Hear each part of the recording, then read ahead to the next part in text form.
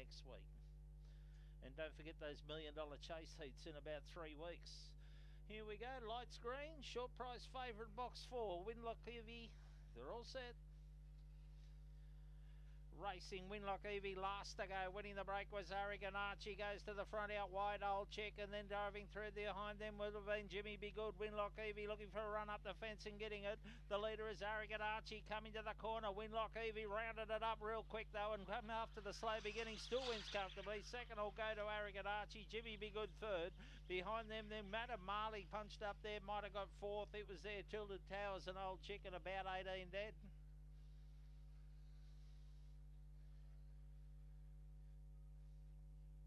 For the blue. Winlock Evie.